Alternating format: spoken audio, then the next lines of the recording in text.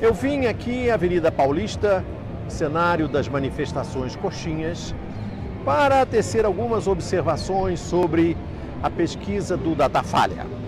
O Conversa Fiada não acredita em pesquisa de opinião pública do PIG, especialmente porque elas são manipuláveis e ainda mais manipuláveis na véspera de eleições para ferrar o PT. Mas o Conversa Fiada trata do Datafolha é, para irritar aqueles que acreditam no Datafolha. E o Datafolha desse domingo, 1 de outubro, mostra que o Lula ganha disparado em todas as hipóteses. Ele ganha no primeiro turno, ganha no segundo turno e nas perguntas induzidas ou espontâneas.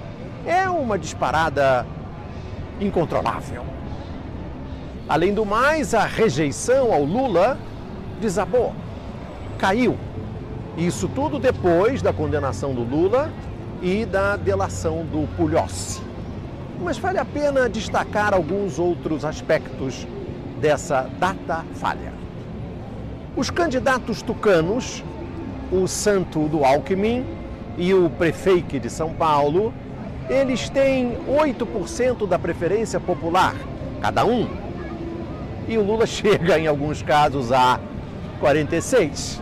É porque, como se sabe, o candidato paulista à presidência da República só será eleito no ano de 2018, apesar dos protestos aqui dessa Avenida Paulista. Essa pesquisa da Tafalha também revela que é uma ilusão achar que o Lula só se elegeria com votos do Nordeste.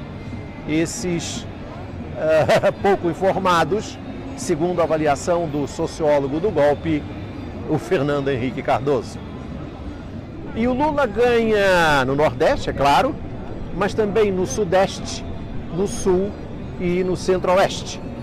Metade dos votos do Lula nessa data falha provém dos pobres do Sudeste e do Sul.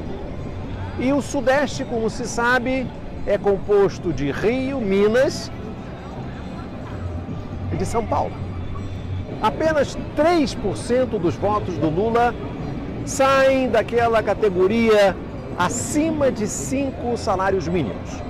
Ou seja, num dos países de renda mais desigual do mundo, num país de uma concentração comparável ao do país mais pobre da África, nesse país miserável, apenas 3% daqueles que têm uma renda acima de cinco salários mínimos votam no Lula. É óbvio que o Moro, a Casa Grande, a Globo e a CIA não podem deixar o Lula ganhar a eleição. O Moro, a Casa Grande, a Globo e a CIA vão estuprar a eleição. Porque o Moro, a Casa Grande, a Globo e a CIA gostam de democracia quando só eles mandam. E aí podem ferrar os pobres.